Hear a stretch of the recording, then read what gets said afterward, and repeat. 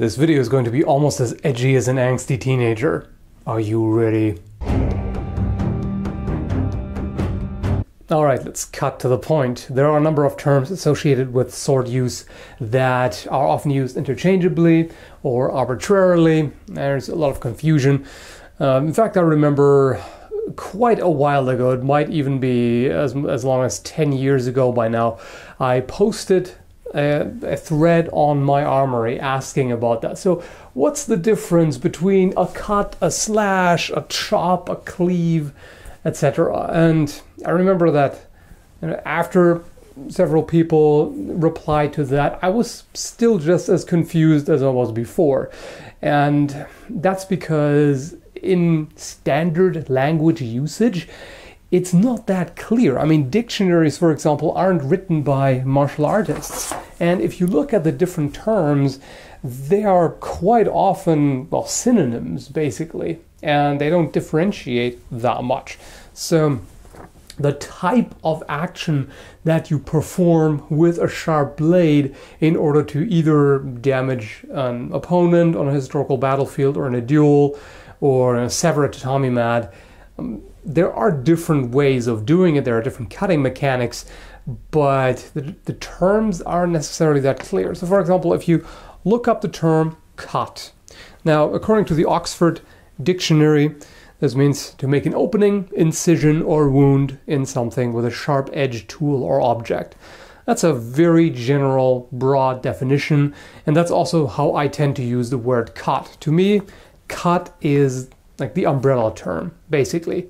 So any sort of action that you use with a sharp blade to you know open something up or sever or you know slice split whatever any any of those terms fall under cut, at least in my opinion. Now, there's also the word slash, which I find really rather useless. But um, according to Merriam-Webster, uh, it says here to lash out, cut, or thrash about with or as with an edge blade. Now that doesn't tell you anything about the cutting mechanic. It doesn't sound like a very sophisticated action, but there is also really no useful information here about the details. Alternatively, it says to cut with or as with rough sweeping strokes. Which again, that's not very specific. Rough sweeping. Hmm. According to the Oxford Dictionary, it means to cut with a wide sweeping movement typically using a knife or a sword. Now, a wide sweeping movement, that's that gives us a little bit of information. So, a wide movement. If you say you have a knife and you cut with, with this very you know, tight movement, so your your arm is, is fairly strongly flexed and say you're doing something like this. Now that is not a wide sweeping motion. A sweeping motion would be more something like this.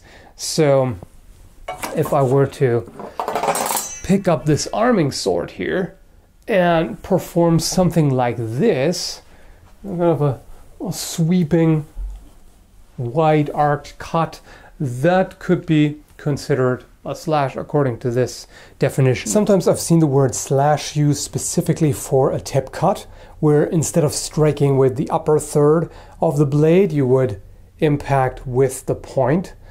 So rather than performing a cut either like this or like that, where you follow through, you would flick it out like so and impact with the point. Now, this is technically not a cut, this is really more tearing into and ripping.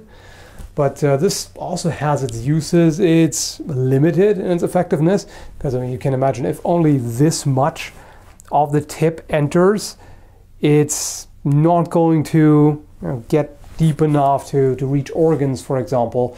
It can still be debilitating if it strikes a tendon and severs it or opens up an artery, things like that. And in, in most cases, it's somewhat limited, but again, viable technique as well. Then there's the term to chop.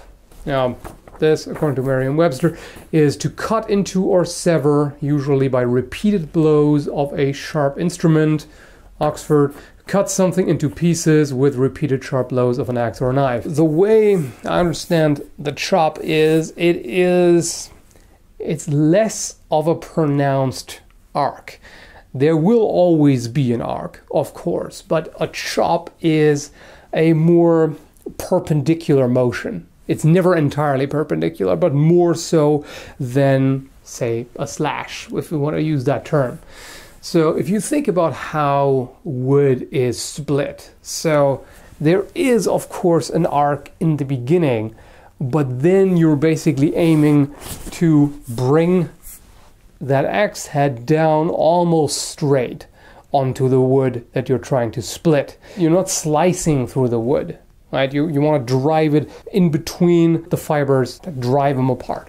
So this is a fairly straight chop. It has a bit of an arc, of course, but it depends on at what point in this arc you're impacting. You know, if you impact pretty much at the end of the arc, this is going to be more of a chop. There's also the term cleave, which um, is defined here as to split, especially along the grain, or alternatively split or sever again, especially along a natural line or grain. So cleave and chop is essentially the same, or it is very often used in the same way. So when you're splitting wood, you're cleaving something. So it's, it's always this act of separating something. So a cleave, now, if you cut with a sword, you can also cleave. For example, what you see right here, that's cleaving into that skull, right?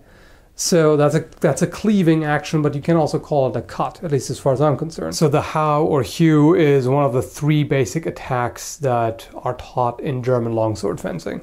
That's the first. The second is the thrust, and the third is the slice. Now, what is meant by slice in the manuals is that you put the like you press the blade against your opponent's body and then either push or pull. So that's what's meant by a slice. And it is used really only against unprotected skin because it's it's the weakest kind of cutting action that you can do. There is no percussive force whatsoever. You really just have the pressure that you put against it with your hands and then I mean you can of course bring your your core into the movement and, and slice with that, but it is very limited. It can be a very useful technique. A slice can be used to control the opponent without injuring them necessarily. So if you press the blade against their arms and you move them around, uh, that can be used to prevent their cut from going through, or you know, it can also be used in grappling, etc., depending on you know, what kind of clothing they're wearing. If it's a very sturdy fabric, you may not do anything or only produce a shallow cut, but it still reduces the opponent's ability to hurt you at that time. I've often seen people say when they watch longsword cuts, "Oh, you're doing it wrong. You have to do a draw cut. You have to, you know, as you throw the cut, you have to draw it in to do this slice." Well, that's slice in the more colloquial sense, but uh, that's really not true. I mean, you can do that, but it's not necessary.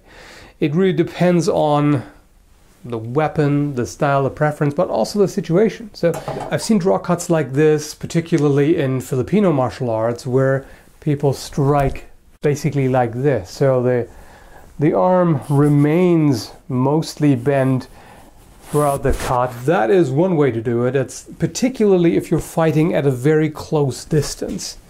And of course, the types of blades that they use are also suitable for that. Like this, for example, has a strong recurve in the blade, so this is very suitable for this sort of drawing action. So if you perform a relatively tight slice here and bring it in, this is going to perform quite well. Now with a straight arming sword like this, that's not necessary. You don't need to give it this pronounced draw cut for that to work. For one, it's got a pretty decent amount of mass in the blade and it's also a quite a thin blade. So this won't produce a whole lot of friction as it moves through the target. So with this, I can benefit from the long blade and strike at more of a distance. So the main difference here between the draw cut and this sort of hew is that the latter is more suitable against hard material, whereas the former is better against soft material. So the draw cut will do better against soft tissue, like the belly, for example, but it will stop at bone. I mean, there's no way you can slice through bone like with, with just this this sort of slicing motion. You need some degree of percussive force. Now, with enough percussive force, you will slice through it, but this generates more percussive force because of the way it's used. So this is going to be better in, at severing bone. A rapier, on the other hand, has a lot less mass in the blade. So you can see how narrow it is. And this is generally taught to be used in indeed a draw cut. So as you as you strike, you draw it in to make sure that it slices soft tissue. Like there's pretty much no way you can cut through bone with this. Now I haven't tested it, but it just seems highly, highly unlikely. Rapiers can cut, but soft tissue. And the way they're used in a fight is this is not a fight ender. So if you slice somebody across the arm, it's it's going to hinder them, of course, and depending on where it's done, like if you, if you do a draw cut and then open up the jugular, of course that's lethal, no doubt about it. But that's really not the main purpose. And the main purpose, obviously, is thrusting. Cuts, depending on the situation, may give you an exam- an advantage, no doubt about it. But it's just not due to the design, it's not ideal. If you wanted to split a shield, forget about a draw cut. I mean, you cannot slice through this. It's not going to happen. In this case, you really need more of a chopping motion to actually get in there and split the wood fibers. So, what you really need to keep in mind here is that the different cuts are not exclusive. There is no such thing as a perfect, you know, exclusive chop or an exclusive slice, unless you're literally talking about this sort of thing, where you press it against the target and then push or pull. Because if you think about it, the sword will always move in an arc. That's how it's swung. You don't you don't attack like this. But if you perform a hew, there will be rotation in it regardless of how you perform it, it'll change it a little bit. Like if I throw it like this, that's a bit different than if I throw it this way. But either way, it's not this kind of action, it's still this. And depending on at what point in the arc it hits, this will have an effect on how strongly it slices or how much of a percussive strike it is. And that even applies to axes like this. But because this has such a wide blade and also is very strongly curved, you can definitely perform a slicing cut with this. So again, depending on if it if it hits here and then continues through like this, you can see clearly that this is a slice, of course, right? Whereas if I if I were to strike like this, so if I were to aim to stop the cut right here in front of me, right where the opponent is, because I cut the arc short, at the end of the, the arc, it'll have a bit of a forward forward movement here. So the rotation stops but it still moves forward a little bit. So this is more of a chop. The same is true for the sword. If I stop the cut here, this is a lot more percussive because I'm driving the force mostly forward. In fact, I can amplify it by using a push-pull motion and I can impact like this and drive it forward mainly. Now, again, that won't eliminate the slice completely. There will be some of that in there, but it's more of a well, chop or cleave, if you will. To wrap it up, don't get too hung up on the terminology, since there is no universal, agreed upon, precise definition of each of these cutting actions anyway. There are just certain tendencies in the way that the terms are used. Um, cut can be really be used for just about anything as an umbrella term. Uh, slash is a little problematic.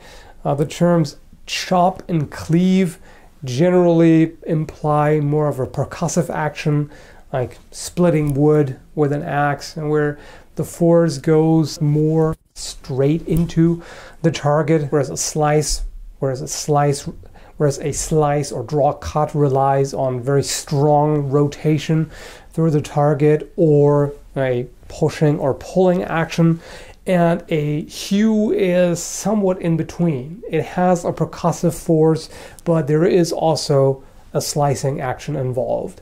So, yeah, I hope this helps a little bit to clear things up, and uh, all that's left to do is cut the video, obviously.